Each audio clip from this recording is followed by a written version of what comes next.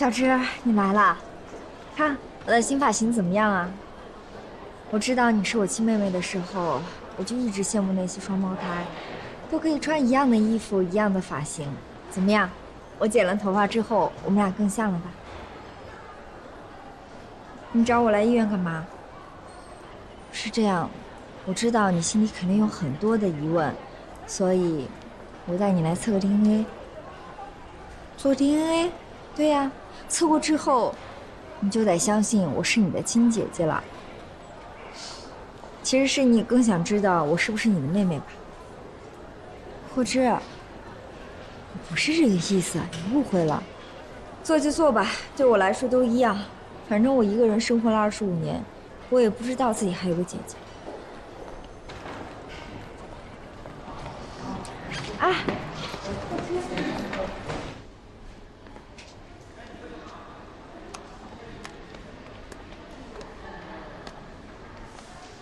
喂，小芝，你在哪儿啊？我快到公交车站了。你怎么就走了呢？我还想送你回去呢。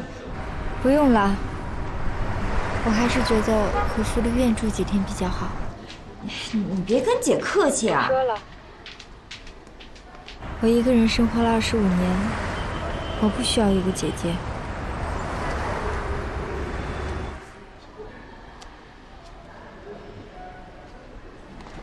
单子。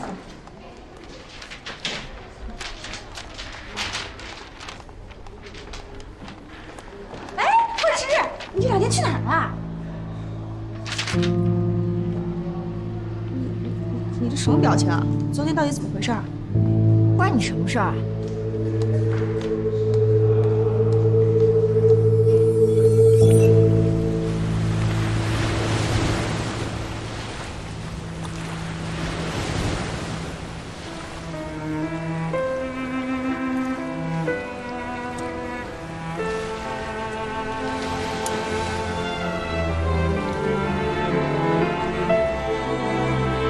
戒指是我妈嫁给我爸时，我奶奶给我妈的。小志啊，你戴上它，你就是我们陈家的媳妇儿了。我今天把话说开了啊，要不是我们领生去英国没人照顾他，我才不会同你们俩结婚。哎，小志，你别吹。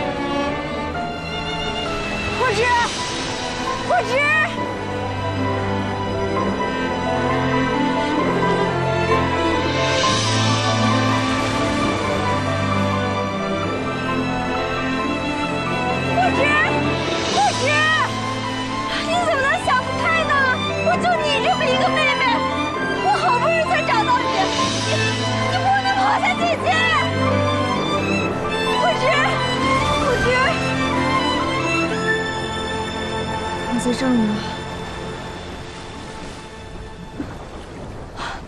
霍之，你吓死我了！你没事吧？以后不管发生什么事儿，姐姐都会在你身边的。你可千万不能想不开啊！你现在还来关心我干什么？二十五年前你们抛弃了我，就已经认为我死了。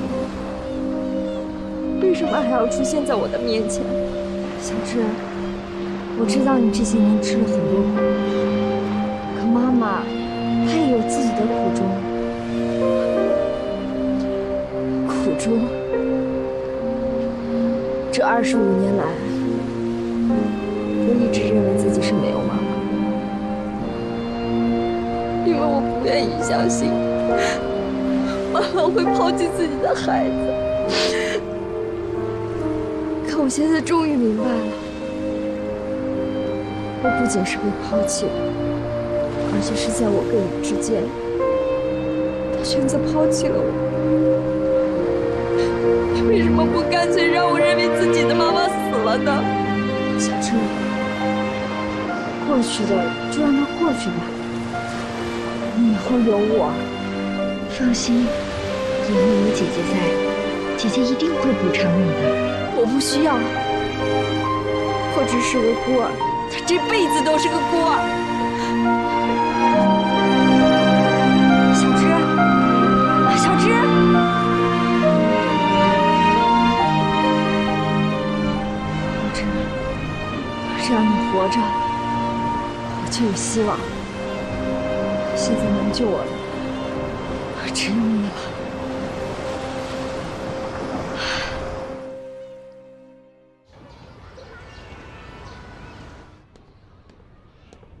霍芝啊，他们说有人找我，我一猜啊就是你。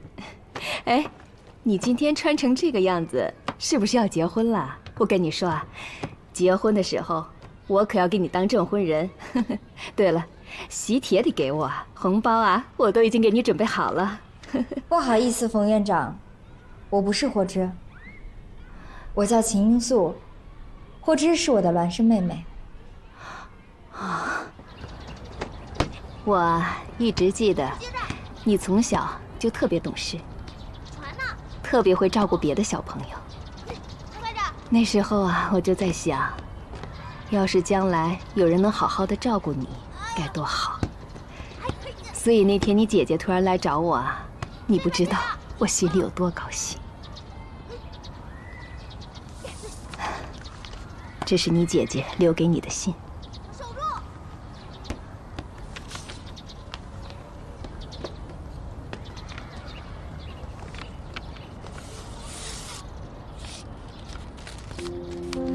小芝，我知道你现在一定很恨我和妈妈。换做我是你，恐怕只会比你更生气。可是你真的不要恨妈妈，要恨就恨我吧。听妈妈说，我们出生之后，你就查出了心脏病。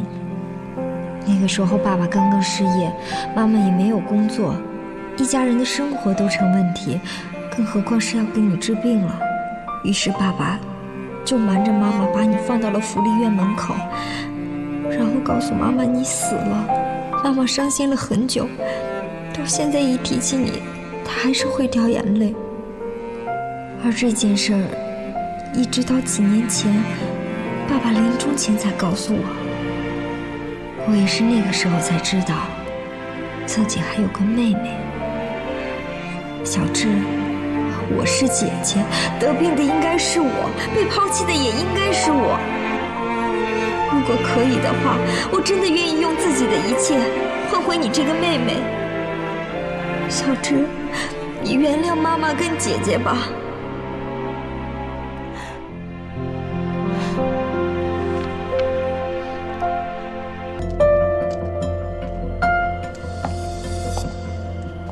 小芝。不是说好一起拿报告吗？怎么先走了？我碰到一个朋友，聊了几句，不太开心，就先走了。我听冯院长说过，你朋友不多。不过以后有我这个姐姐，你不再是一个人了。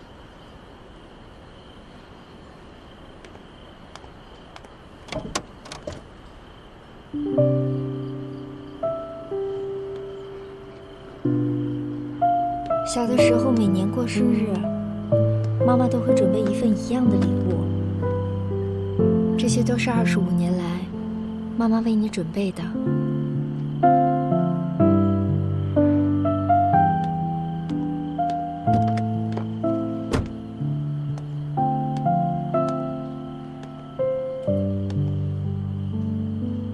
小芝，其实每年生日。我都特别难过，我一直以为那是你的忌日。现在好了，真希望我们姐妹俩能一起过个生日。小芝，今天